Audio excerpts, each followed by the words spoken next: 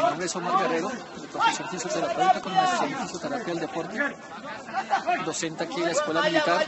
Hoy estuvimos en taller desde el Congreso de Deporte Paralímpico, entrenamiento deportivo. Estuvimos aquí en la cancha sintética de la Escuela Militar realizando un taller de fútbol 5 visual, en donde estuvimos realizando una sensibilización a, a los participantes, inicialmente contándoles la historia de la creación del fútbol 5 visual, eh, sus normas, su reglamentación, su clasificación y realizamos una parte práctica en donde cada uno de los participantes les colocamos unas gafas especiales para que no pudieran ver y estuvieron realizando la práctica. Hicimos un campeonato de cuatro equipos, todos contra todos y al equipo ganador le tuvimos un premio.